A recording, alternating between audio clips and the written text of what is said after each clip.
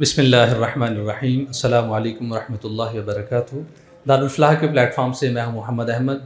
आज हमारे पास मेहमान मुकर शेख कारी अज़ीम अख्तर हाफिज़ा ताली फैसलाबाद से तशरीफ़ लाए हैं। माशाल्लाह, एक दिन पहले भी उम्र की शहादत से तशरीफ़ लाए हैं और इसके सफ़र के बावजूद उन्होंने हमें वक्त अनायत किया।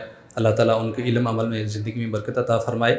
और शेख मोहतरम तालीम और तालम के सिलसिले में काफ़ी जगहों पर तशरीफ़ ले जाते हैं और मुतद बार दारुलफ़लाह के प्लेटफार्म कसूर में भी तशरीफ़ लाए हैं। अब उनसे तासरात जानने की कोशिश करते हैं कि यहाँ आने के बाद क्या महसूस करते हैं। जो इंतज़ामिया के दोस्त दारुलफ़लाह के भाई दीन की काविशों के सिलसिले में लोगों के खिदमत में पेश पेश हैं उनको किस नज़र से देखते हैं? असल शेख वालेकुम शेख मुहतरम कैसे हैं खैरियत से अल्लाह का आप सुनाइए।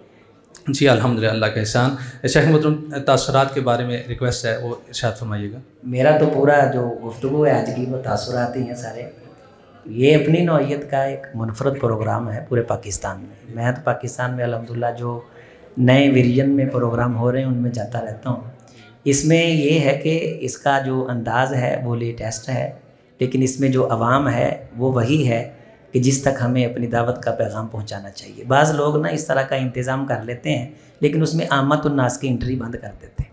अब ये उन लोगों के लिए जो लोग ये समझते हैं कि यार ये बड़े लोगों ने प्रोग्राम रखा है, हम गरीबों को तो यहाँ एंट्री का मौका ही नहीं मिलेगा, वो बड़े बड़े हालों में प्रोग्राम रख लेते ये उनसे किसी भी हिसाब से कम नहीं है, लेकिन हर आम बंदे को यहाँ आने की इजाज़त है और वो यहाँ आके एक इज़्ज़त महसूस करता है। आप हर बंदे का इस्तेकबाल करते हैं और जो दीन सुनने आता है ना, उसे आप ऐसा तासर देते हैं, वो ये समझता मैंने बहुत अच्छा काम किया है।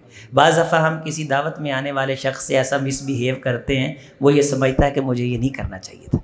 आपके इस तासुर की वजह से जब वो यहाँ से जाता है तो उसको दीन पे प्यार आता है।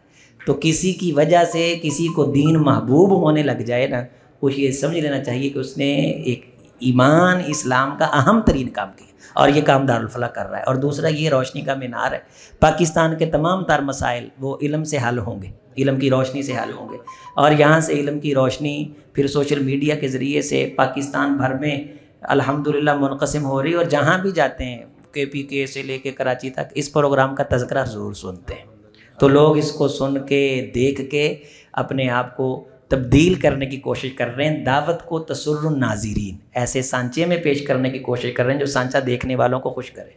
और दारुलफला ये काम कर रहा है, ये इसका बानी है, इसका क्रेडिट आपको जाता है। और जितने लोग इसको दे के प्रोग्राम शुरू कर रहे हैं, उन सब का स्वाब आपको मिलता है। सन्ना सुन्नतन हसनतन फ़लाह अजरुहा, जो अच्छा तरीक इख्तियार करता है, उसको देख के अच्छा तरीक इख्तियार करने वालों का अजर आगाज़ करने वाले को मिलता है। जजाकम्ला खैर, आपने इतने अच्छे अल्फाज हैं, हमारी हौसला अफजाई फरमाई और आखिर में गुजारिश है कि हमारी टीम के बारे में कोई खसूस नसीहत फरमा दें जजाक बस इस्तेकामत मांगें, अल्लाह से आप जो काम कर रहे हैं, मैं हल्का फुल्का मुताला रखने के बाद और दुनिया थोड़ी बहुत देखने के बाद ये आपको ये कहना चाहूँगा कि इससे अच्छा काम कोई नहीं। जहन में ख्याल भी नहीं आना चाहिए कि इसके अलावा भी कोई अच्छा काम है। तो इसलिए इसके साथ इस्तेकाम के साथ जुड़े रहने की तोफ़ी अल्लाह से मांगे। जजाकम्ला खैर हसन जजा, बहुत शुक्रिया।